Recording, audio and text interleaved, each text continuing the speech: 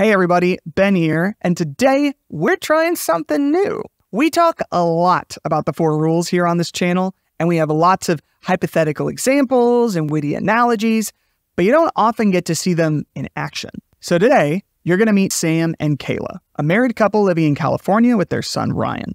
They've never tried YNAB before, but they agreed to learn the YNAB method and give it a try for a month. So let's see what they think of YNAB. This is your all's first encounter with YNAB, is that right?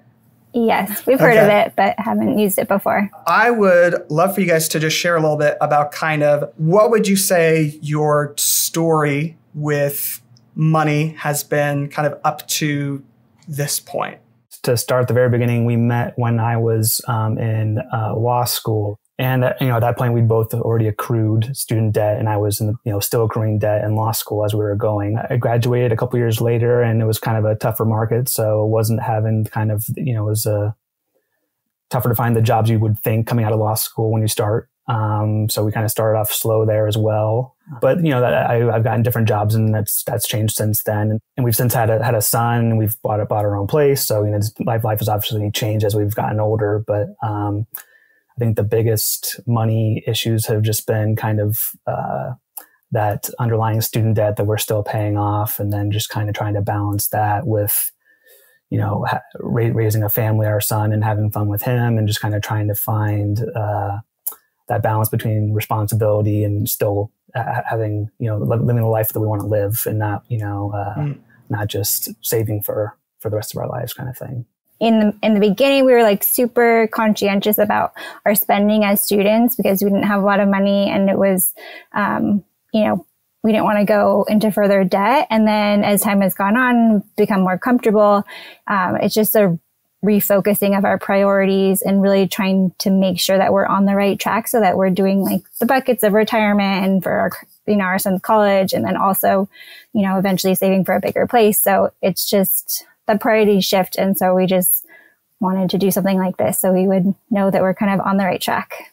What has been your perception of yourself as far as being good with money? Um, I mean, for me personally, I'd say like I do prioritize saving. I think we're like okay. I don't know. I think that can always be better. So mm-hmm. I'd say we aren't like overspenders.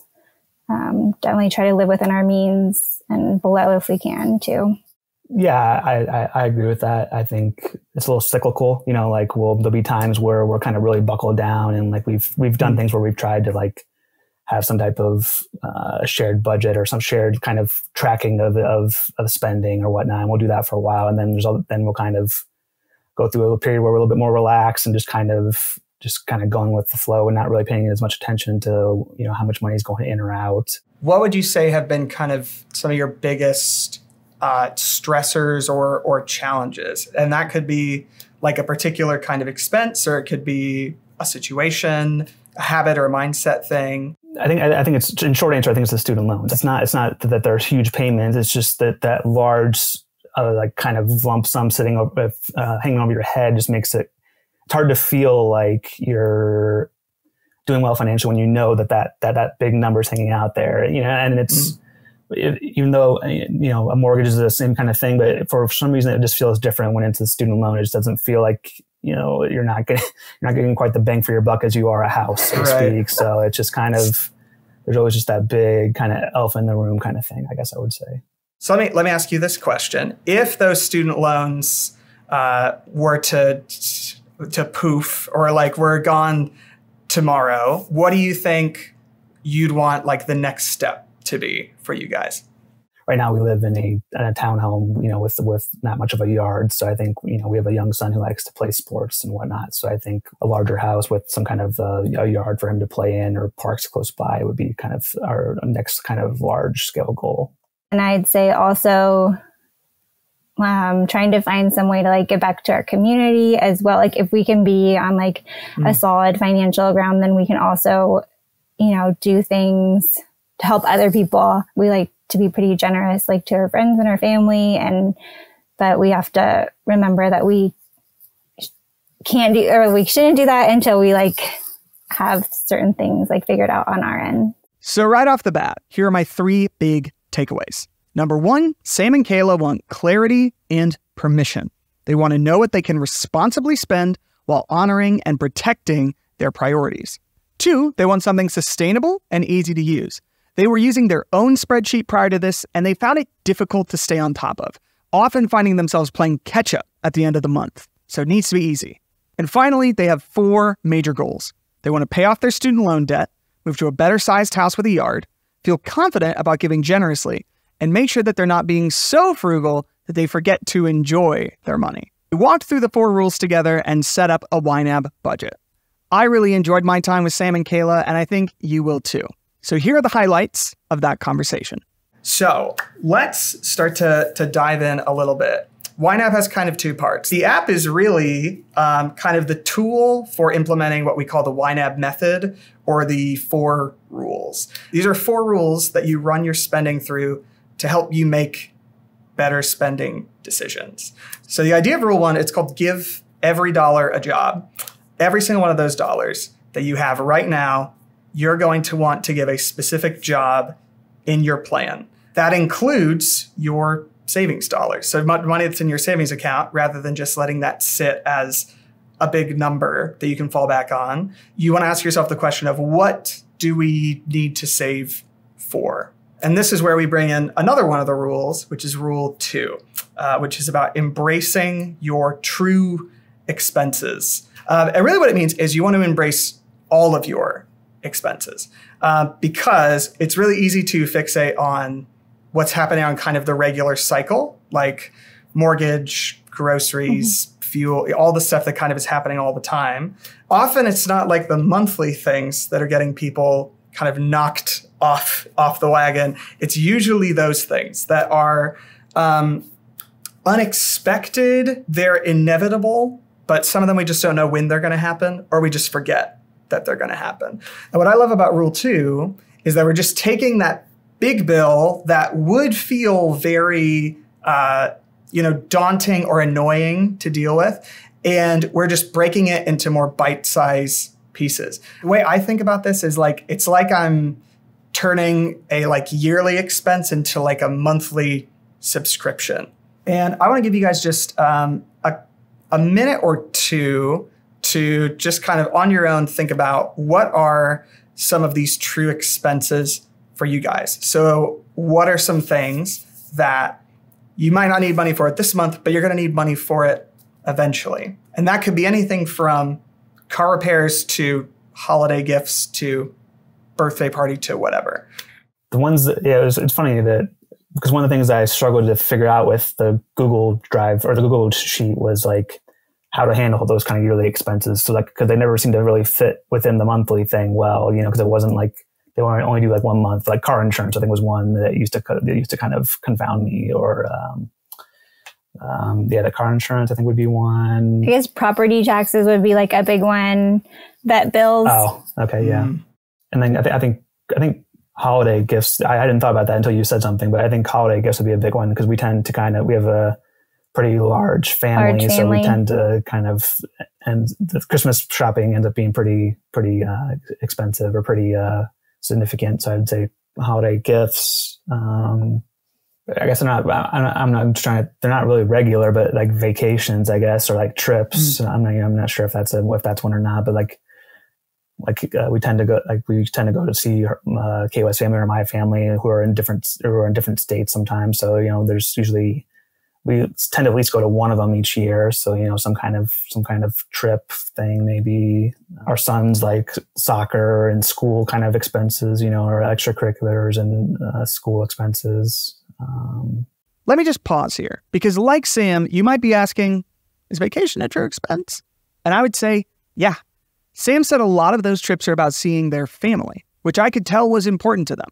Budgeting is all about aligning our money with our priorities. So, yeah, if taking trips is important to you and you can afford it without compromising other, more important priorities, totally at your expense. We have a lot of them. yeah, like most most of us do. I mean, one of the things I find when we don't kind of break these down and make them a monthly thing, then what happens is our budget, our month to month expenses become so up or down, right? There are some months, mm-hmm. you know, where everything's just kind of fine and chill and very bare bones. And then there are other months like December uh, where things just skyrocket, right? Yeah. Mm-hmm. And what we want to do, rather, like you can do that, that's functional, but how much easier would it be, right, to know that each month, like this is what we got to set aside to handle everything. Um, mm-hmm. I want to let's I want to look at an example. Kind of uh, talked about vacation. So this is one of the things I really like doing. Uh, we just went on a vacation, my wife and I, to uh, Colorado. So let's say that I'm going to plan. We're going to take the same trip next year. Let's say June 9th. So now I can just go into YNAB and say, okay, what if we wanted to spend around 3000 Let's say we wanted to do that. Then YNAB tells me right now, okay, this is what you're going to have to set aside month to month to make that happen. And if I'm going, okay, that's more than I think I'd want, maybe we could do something more like 2,500, then I can see what the difference is there. Usually I'm surprised by how little or how much things go up or down. Um, let me actually, let's hop over to a budget that has all of the targets in it already. With this right now, assuming this is covering most of my true expenses and everything, I know then that with pretty minimal variability that this is going to be the number that I need to be able to uh, set aside each month for all of these spending, savings goals, everything.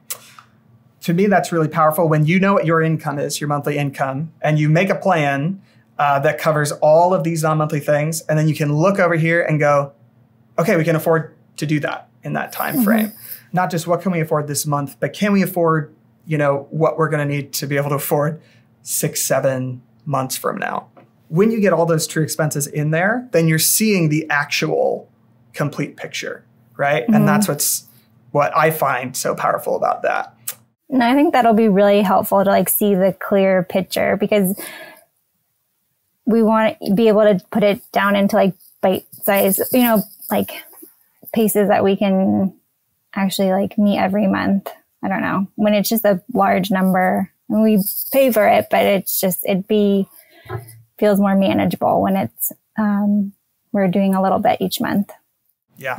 Yeah. And I think because up until and previously in our own efforts, like we've had to have kind of just a, uh, kind of a large miscellaneous item just to kind of cover all that stuff mm that this doesn't fall in those categories. And so, like you said, there'd be some months where we'd barely spend any of the miscellaneous money, and other times would be like four or five hundred bucks over. You know, just kind of just kind of depending on how the month went. So I think it'd be helpful to have everything broken down to where there's not mm there's there's less gray, less miscellaneous. Everything kind of has its category.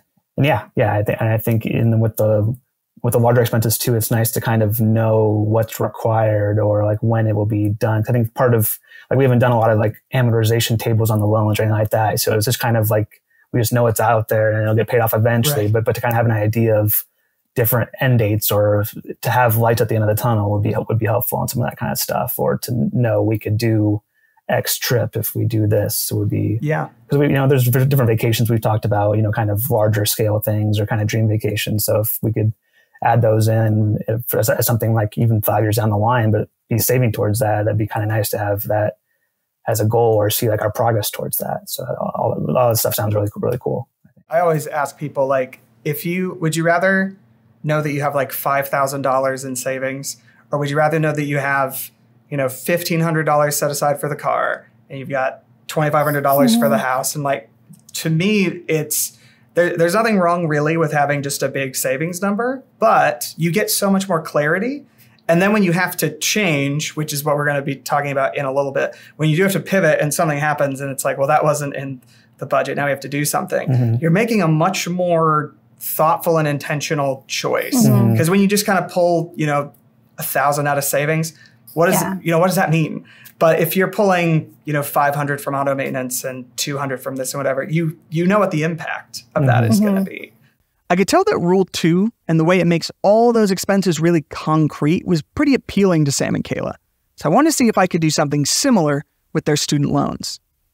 Let's look at um, student loans because that's something that has been brought up. So I want to show you a tool in the YNAB app that um, I got rid of my student loans before this feature came out and I am glad about that. But I'm almost sad I didn't get to use this feature because mm-hmm. I probably would have paid down my debt better if I did. Mm-hmm. So let's just make it really simple. Let's say I have one big student loan. So I'm going to go add an account over here. So let's just call this my dumb student loan that I hate. I'm going to categorize this as a student loan. So let's say this is $10,000 loan with a, let's say, a 6.5% interest rate. I should know what this is. Kind of have to finagle a minimum payment that makes sense. So what I'm going to do actually is I'm going to create a new category for this. I'm just going to put this with my bills. So now you'll see here in my budget, I've got a spot for that student loan. I have a category for that okay. now.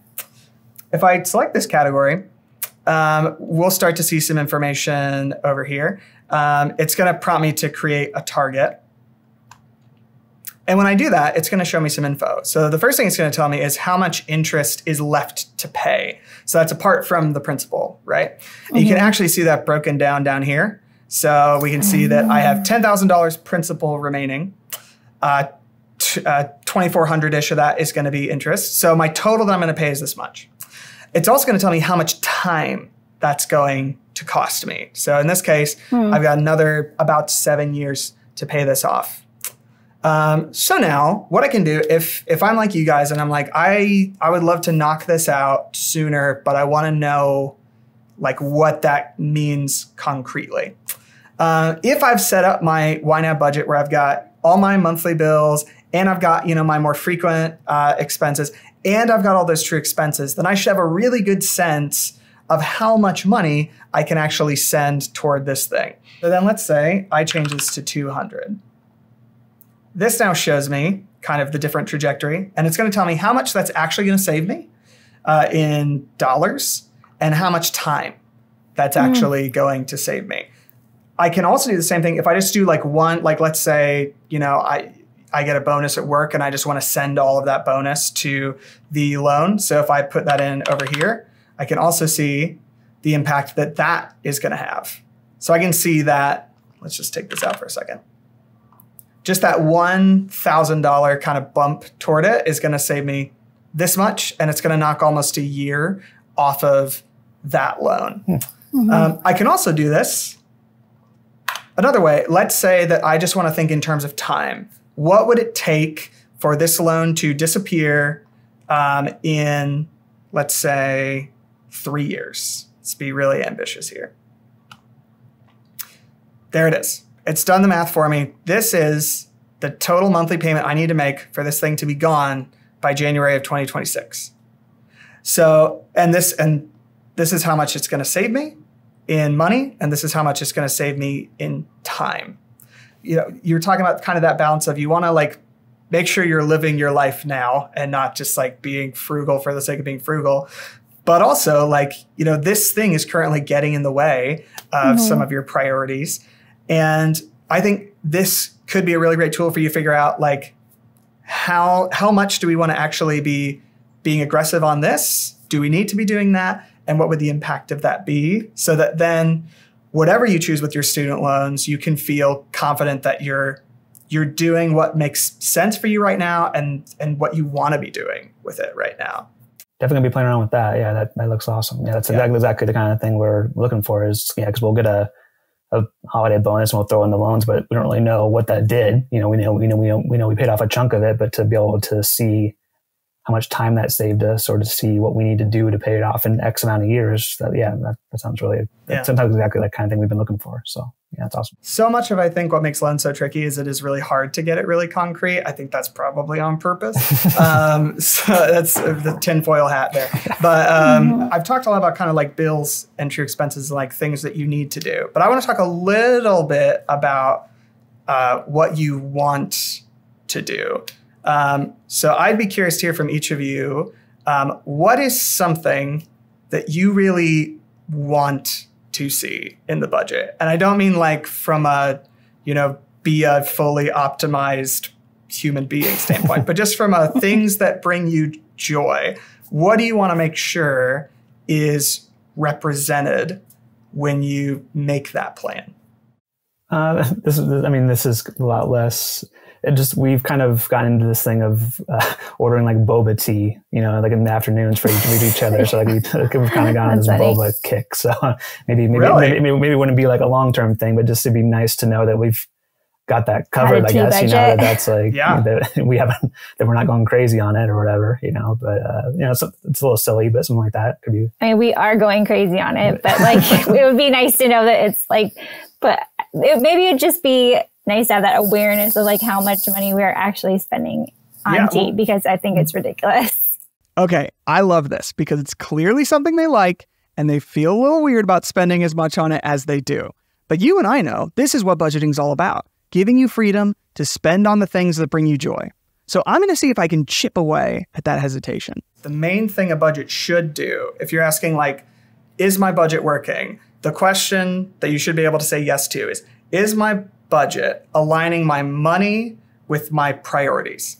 Mm-hmm. Is my budget helping me to make sure money is going towards the things I actually care about and not things I don't really care about as much? So, for instance, if you guys were like, you know, really on the edge financially or whatever, and you were spending crazy amounts on boba tea, and that made it so you couldn't, you know, keep the lights on. Obviously, you'd rather have the lights on than have boba tea, right? Mm-hmm. But at the same time, um, we, you know, when we think abstractly about like, I want to save more, I want to, you know, make sure I'm doing this, that, and the other thing. Um, it sounds like boba tea is like a, a higher priority for you than other people.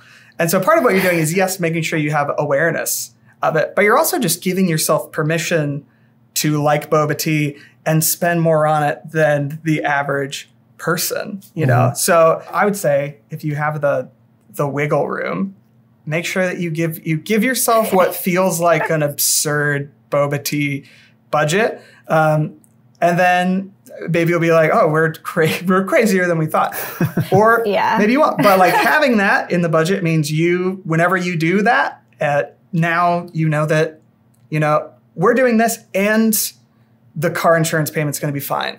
The property taxes are going to be fine. You know, you can do that without any sense of like guilt or anxiety and just be like, mm-hmm. we like boba tea and we made a plan because we're grown up so we can kind of do whatever we want. yeah, because that's that's the whole thing. Like we'll, we'll go like a week where we order like you know a bunch of it and then it's like uh, we should be saving money and it's like you know so it'd be nice to know that like well we're not or we're still within our boba budget you know or if we had a category for it you know it's like cause yeah, yeah. Otherwise, otherwise it's kind of it's just kind of floating out there and you don't really know how crazy you're going. So yeah, that I think that'd be helpful. And yeah, similar stuff like that too. It does not have to be boba yeah, there there are people out there who will say that like this is the way you should this is what your budget should look like. Mm-hmm. And I think that's kind of ridiculous because your budget is going to look like the things that you care about. So mm-hmm. so yeah, I I I'm putting in my vote for a boba tea category for sure. Good um, idea, Sam. Good idea. it sounds like they're starting to get a little more comfortable with prioritizing fun in their budget. So I'm going to push them just a little further with my favorite YNAB trick.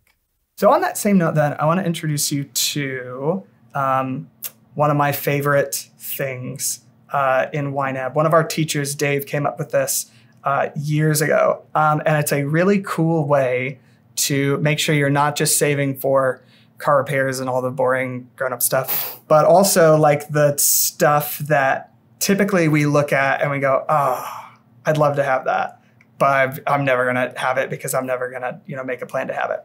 Um, and that's what's called a wish farm. So how a wish farm works is the first thing you want to do, and here's my very serious recommendation: have a date about this. Absolutely, go have a date about this because it's very fun. Um, your wish list is just where you're going to put all of the things that you would like to buy that you're just not going to like go to the store and just buy, right? of the way that a lot of people do it, the way that Dave kind of first talked about doing it, is break things into small, medium, and large. So small could be like $100 or less, or $200 or less, or whatever. Um, but large should be like large, like very large. So let's say on my wish list, let's say I want a new microphone. Let's say that's small. And I want a PS5. That's going to be a medium one. And then let's say I'm a board game guy. So let's say board game table, those are very expensive. what you want to do is just fill this up with as much stuff as you have. Get yourself a big old wish list um, for some things are going to be just for you, Sam. Some are going to be just for you, Kaela. Some, a lot of them are going to be for both of you. you're going to want to figure out how much does this stuff actually cost. So, you know, go do some research. So I think a PS5 is like what $500 right now. Mm-hmm. Let's say the new mic I want is like 150 and I do know cuz I'm a nerd uh, a board game what table is like a board game table a board game table is okay so a board game table i'm interested it's um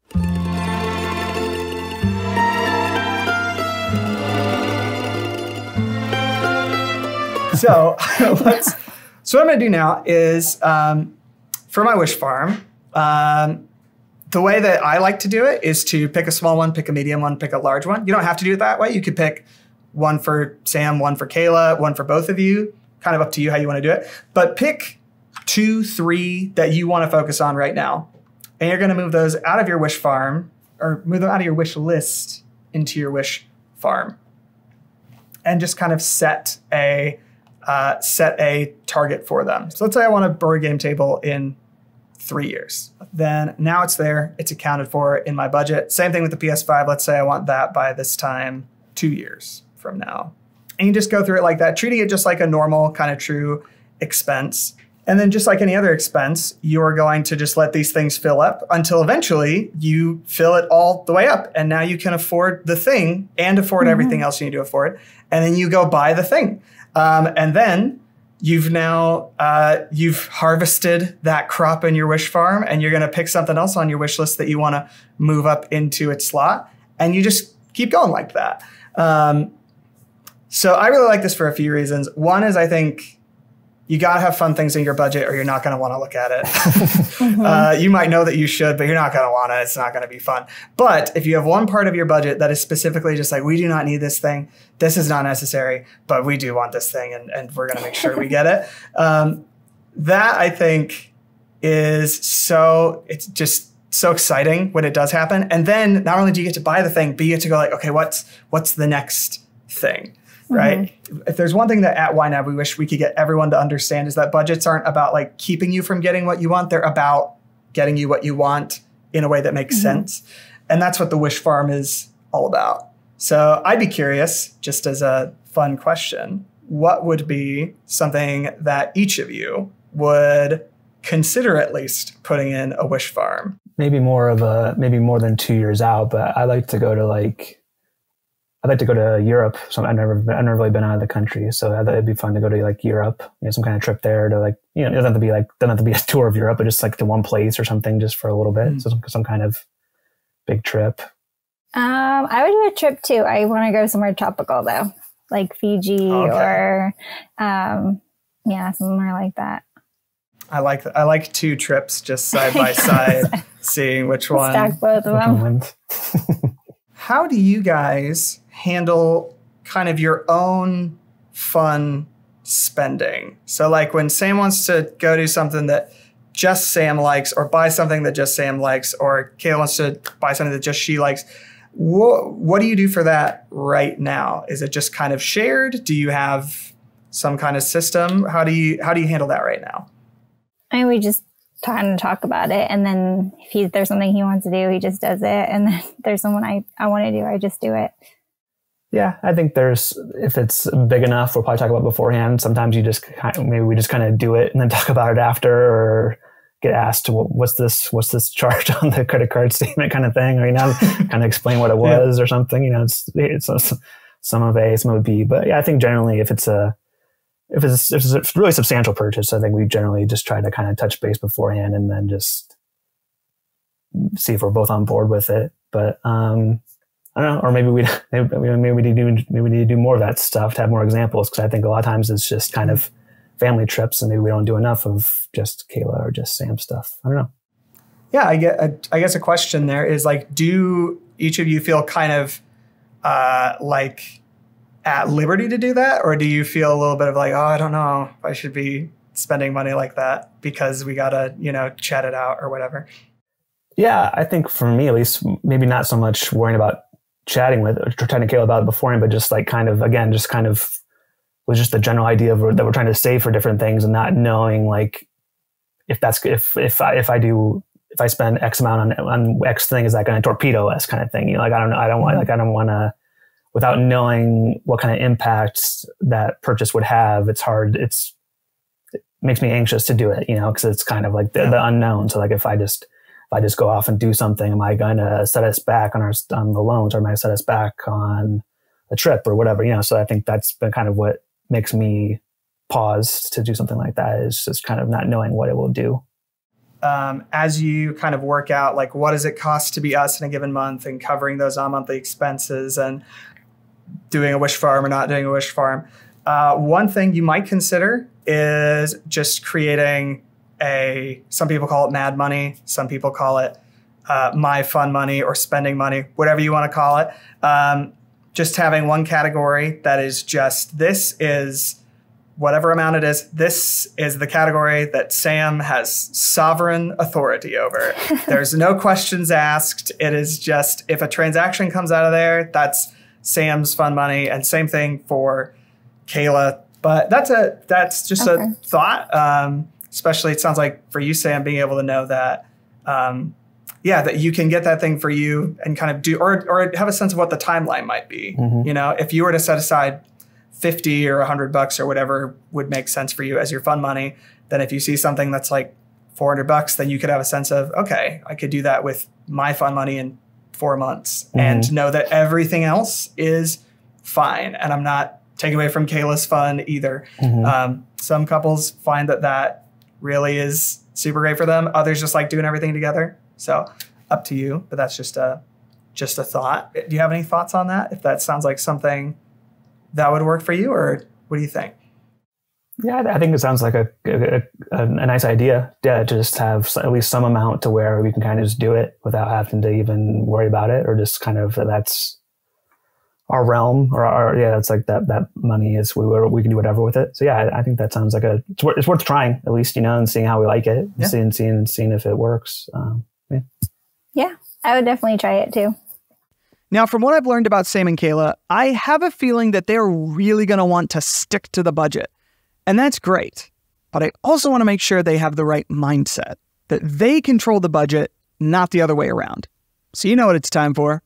It's time for rule 3 Okay, so we've talked about kind of what goes into making the plan. So now let's chat about like how you actually use it, right? Uh, and um, what does it look like when the budget is wrong?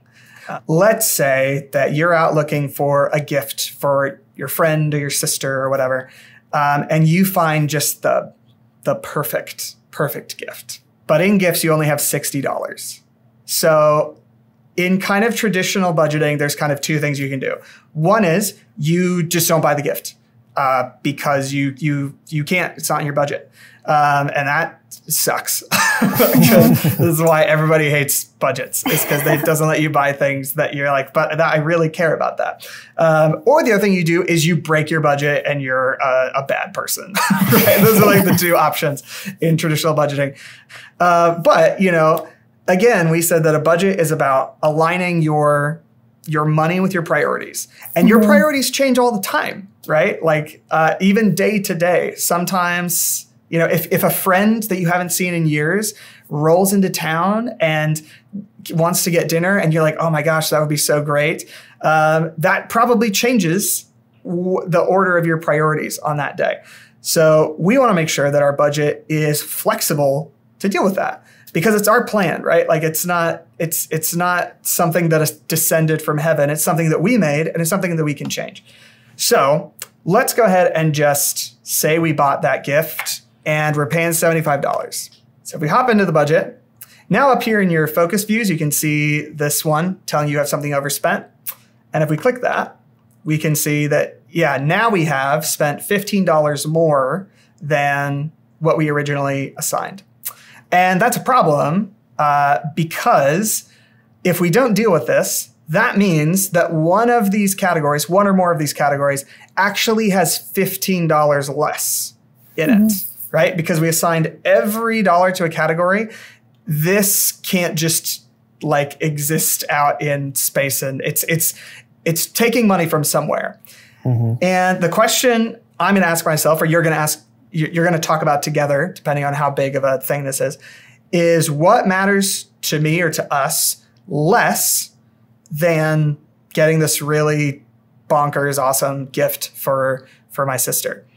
And you're just going to look through uh, through your jobs and figure that out. So it's not going to be, you know, it's not going to be your utilities. It's not going to be your mortgage. It's going to be something more flexible. So maybe it's maybe it's like, okay, we've already we haven't driven that much this month, and we actually can uh, afford to do do with a little less fuel money. But then we're just going to choose that category, move that money over, and now we're going to see that this is all leveled out, and we can see here that um, we've got $15 less here, and we've covered it. This, by the way, is um, rule three of YNAB. We call it roll with the punches. I like to just refer to it as change your budget when you change your mind. This goes really well with rule one because when you've given every single dollar a job, then you can't just kind of be like, okay, I guess we're just spending $15 more. You have to decide what you're spending $15 less on in mm-hmm. order to do this. I find that the alternative for me in the past was when I felt like I'd overspent on something, then what I would do is just kind of tighten up on everything. You know, there'd just be mm. this kind of like shadow of scarcity over my spending. So I either would like stop spending on like everything or I just feel really bad and like anxious when I did. And what this does is it gives me the control to say, okay, this is like A, like I'm not a bad person. This is just a reflection of my priorities. This is fine. I don't have to like cry. I can just make a choice about what matters to me less and then update my plan. And we get to keep moving forward. I still get to be a good person. Uh, I still get to buy the awesome gift for my sister. And I still have total clarity and control over what my money is doing. How are you guys feeling about this this rule?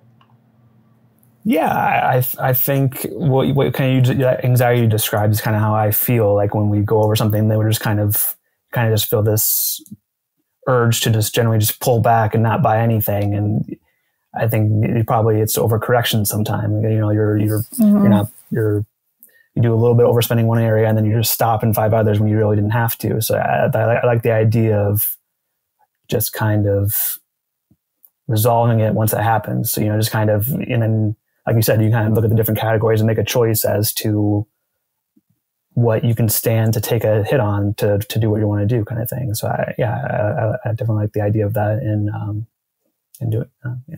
Yeah, I agree. I'm on, I'm on the same page. I think that that like feeling frozen if you slightly overspend in one category and then like totally pulling back, but in reality, there's a lot of months where like some categories we wouldn't meet anyway. So it would be there already is that excess.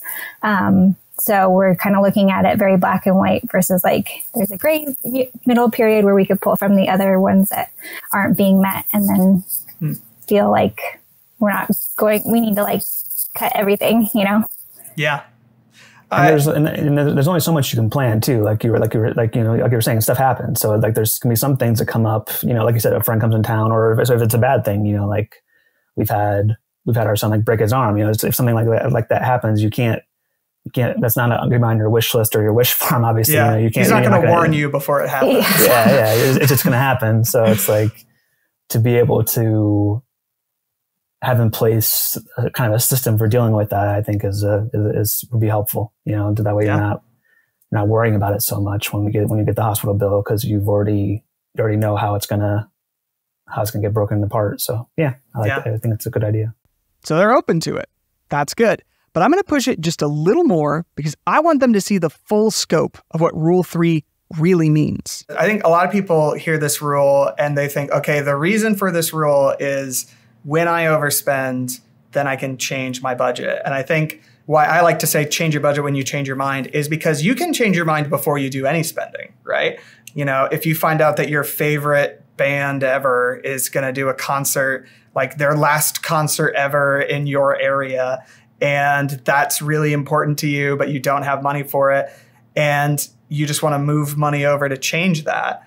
That's rule three, too, because that's the same thing, right? Your priorities change I mean, often overspending kind of happens to us. You know, we get the the medical bill and it's more than we thought, or utilities is more than we thought, or or whatever. Uh, but other times we can like see it coming. We're like making the choice, and so I also encourage people. You know, if you know like, oh, a friend's coming into town and we're gonna have dinner, or like those concert tickets, you can just move money proactively if you know you're going to need it. Like again, it's your budget. Um, try and let go of like language of like, well, this is wrong. Uh, the better question is, it does this align with my priorities? If you're looking at your plan and you're going, we can still pay all the things that we really care about, and we want to make this change, then that's that sounds great. That sounds like your plan is serving you. And the reality is that a flexible plan that changes as you change is going to be a lot more sustainable than a plan that has to be rigid and followed mm-hmm. to the letter, you know, uh, and can never ever be broken. Um, with YNAB, there isn't really breaking the budget. There's just changing the budget, mm-hmm. um, and that's I, I cannot emphasize enough like what a what a shift that can be. Um, mm-hmm. Um, but it's what I really encourage you to to lean into because um, when that when you can kind of make that flip to this is our budget and we're the we're the boss of the budget. That is, I think that can really change um, how you how you think about spending and and enjoying the mm-hmm. way you mm-hmm. spend.